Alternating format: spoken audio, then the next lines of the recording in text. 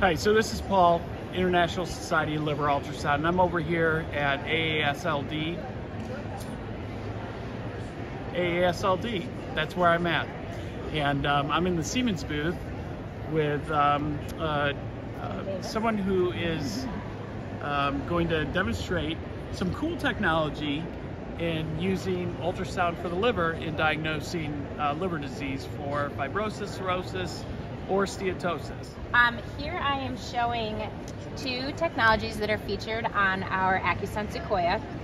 So the first one is an auto point shear wave where I am able to gather 12 acquisitions um, or I should say 12 stiffness measurements in one single acquisition and it simultaneously um, gather a UDFF or fat fraction percentage of um, my model's liver.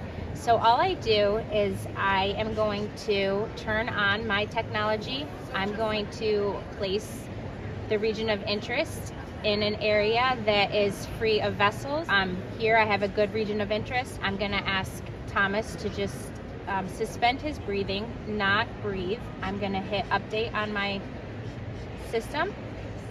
Go ahead and breathe. And as you can see here, in that single acquisition, I get 12 stiffness measurements and um, it simultaneously get a percentage of fat in his liver. So we are just showcasing how easy it is to gather the stiffness measurement and the percentage of fat in one acquisition. That's fantastic. So basically you're using ultrasound imaging along with elastography mm-hmm. And just that one simple click you're able to acquire and get a kilopascal readout?